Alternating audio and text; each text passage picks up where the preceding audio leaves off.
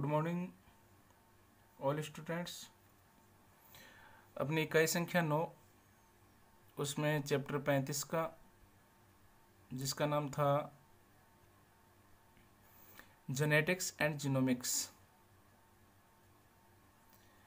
उस चैप्टर में हम मेंडल की शब्दावली पढ़ रहे थे। उस शब्दावली में हमने कुछ पॉइंट्स पढ़े थे। फ़र्स्ट जो पॉइंट था, वो जीन था और मेंडल जीन को क्या समझता था? कारक, ये कल मैंने बताया था। सेकंड पॉइंट था जिनोम। थर्ड पॉइंट था केंद्रक पर रूप।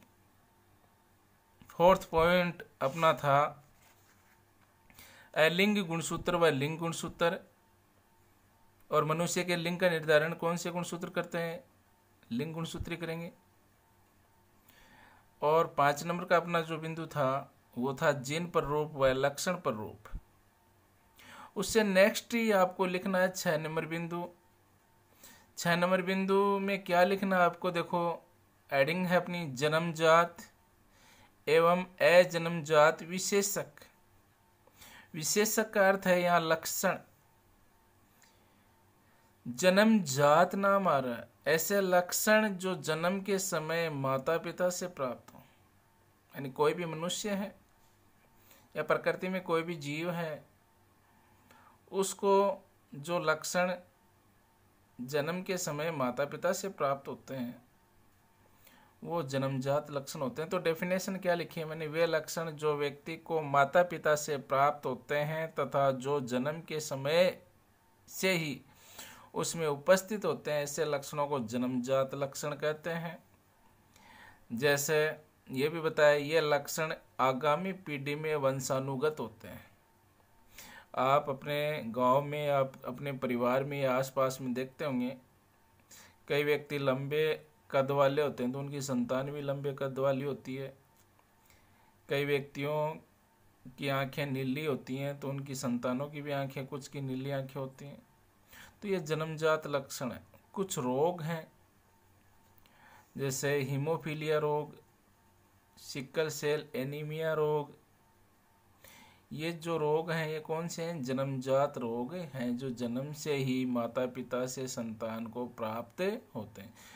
तो ये आपको डेफिनेशन समझ में आएगी, वे लक्षण जो व्यक्ति को माता पिता से प्राप्त होते हैं, तथा जो जन्म के समय ही उसमें उपस्थित होते हैं। ऐसे लक्षणों को जन्मजात लक्षण कहते हैं।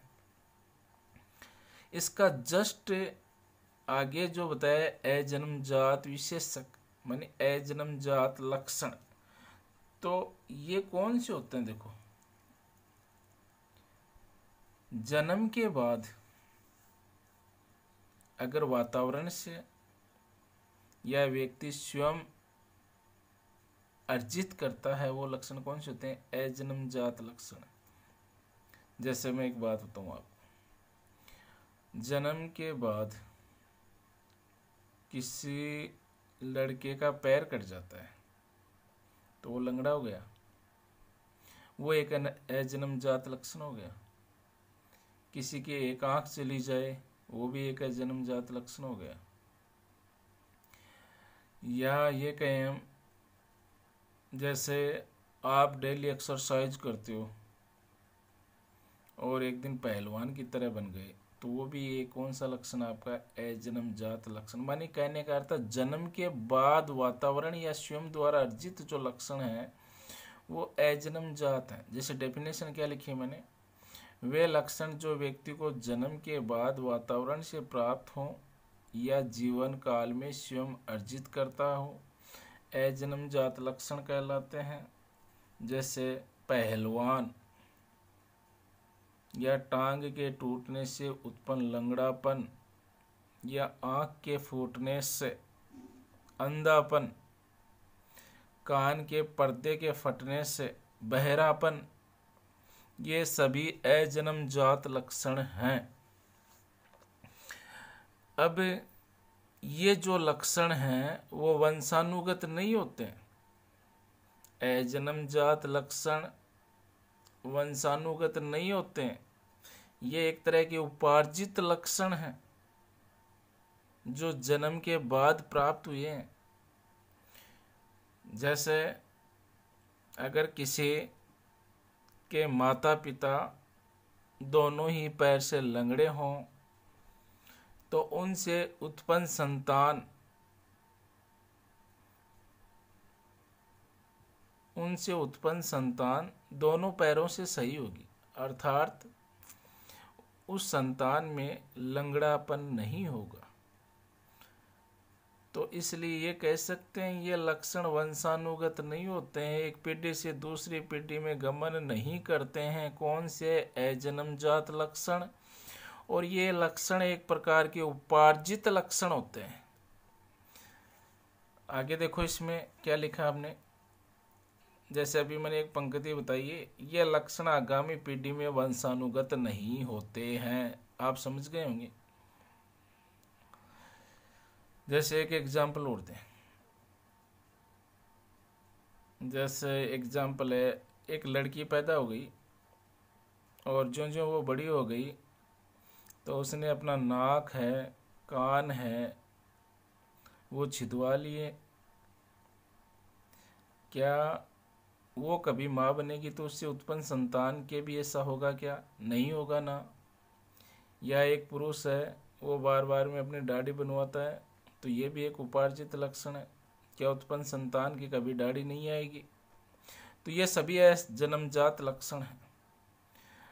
अगला बिंदु अपना युगम विकल्पी। देखो एडिंग क्या बोलती? है युगम विकल्पी। युगम का अर्थ होता है जोड़ा, और जोड़े में दो विकल्प होते हैं। युगम का अर्थ क्या होता है? जोड़ा। युगम। एक युगम, मानी जोड़ा। उसमें दो विकल्प होते हैं। तो इसकी डेफिनेशन क्या है? किसी भी प्राणी में एक गुण को नियंत्रित या विव्यक्त करने के, करने वाले जीन किसी भी प्राणी में एक गुण को नियंत्रित या विव्यक्त करने वाले जीन के दो विप्रयासी स्वरूपों को किसी भी प्राणी में एक गुण को नियंत्रित या अभिव्यक्त करने वाले जीन के दो विप्रयासी स्वरूपों को युग्म विकल्पी कहते हैं। अब दो विप्रयासी का अर्थ है भिन्न भिन्न स्वरूप हो सकते हैं। एक तो प्रभावी हो सकता है और दूसरा अप्रभावी हो सकता है। एक तो लक्षण कौन सा हो सकता है? अपना प्रभावी हो सकता है। दूसरा अप्रभावी हो सकता है। जैसे मैंने ये पंक्ति नोट की है, सामान्यतः प्रत्येक जीन के दो स्वरूप होते हैं। एक प्रभावी, दूसरा अप्रभावी होता है। नई एडिंग अपनी है समयुग्मजी व विषम युग्मजी होमोजाइगस व हिट्रोजाइगस। ये क्या होते हैं देखो? समयुग्मजी सम का अर्थ समान। युग्मजी मन युग्मक। जब दोनों युग्मक समान हो तो उसे क्या कहेंगे हम? समयुग्मजी जैसे कैपिटल टी टी लिख दें, स्मॉल टी टी लिख दें तो वो क्या होगा? समयुग्मजी का एग्ज़ाम्पल होगा। जैसे अभी इसकी सेकंड परिभाषा और भी लिखी मैंने। एक तो ये परिभाषा देखो, आप नाम से लिख सकते हो, सम मानी समान युग्मजी मानी युग्म। जब दोनों युग्म क्या हो, समान। या इसकी सेकंड परिभाषा है, जब एक जीन के दोनों विकल्प समान हो। जब एक जीन के दोनों विकल्प समान हो तो उसे क्या कहोगे आप? समयुग्मजी कहलाता है। जैसे शुद्ध लंबा। शुद्ध बोना। जैसे शुद्ध लंबा, शुद्ध बोना। विषम युग्मजी। जब एक जीन के दोनों विकल्प असमान हो, विषम युग्म जी कहलाता है। जैसे शंकर पादप, जैसे कैपिटल टी और स्मॉल टी। ये दोनों समान नहीं है ना? एक तो कैपिटल है, एक स्मॉल है तो विषम युग्म जी जब एक जीन के दोनों विकल्प है समान। अगर दोनों समान है तो समयुग्म जी जैसे ऊपर एग्ज़ाम्पल दिया मैंने कैपिटल टी टी या स्मॉल टी टी जब एक जीन के दोनों विकल्प असमान हो तो उसे विषम युग्म जी कहते हैं। जैसे कैपिटल टी और स्मॉल टी कौन से पादप की बात चल रही है? संकर पादप की बात चल रही है। अब नौ नंबर बिंदु हम पढ़ते हैं, देखो क्या है। बिंदु संख्या नौ, बहुत ही इजी है। संकरण एवं संकर। तो संकरण एवं संकर। संकर जय आजकल खेता में बाजरो उगा रहा है। तो देसी बाजरा को नाम सुने होगो, थे एक शंकर को सुने होगो। देसी बाजरा की हाइट बहुत ज़्यादा और शंकर की हाइट कम हो है। तो शंकर जो बाजरो है, वो लंबा पादप और बोना पादप बा का बीज को मिश्रण है। तो दोनों का गुण क्या होगा? अलग अलग होगा। तो आपकी परिभाषा क्या होगी? जब दो विप्रियासी लक्षणों, विप्रियासी का अर्थ है भिन्न भिन्न लक्षणों जैसे एक तो लंबा पादप और दूसरा कैसा हो गया? बोना पादप। भाई, विप्रियासी का अर्थ है भिन्न भिन्न एक तो लंबा पादप और एक बोना पादप। जब दो विप्रियासी लक्षणों वाले समयुग्मजी तो समयुग्मजी का अर्थ है एक साइड में तो आप लोगे कैपिटल टी टी और एक साइड में क्या लोगे? स्मॉल टी टी तो कैपिटल टी टी है, वो तो है लंबे पादप।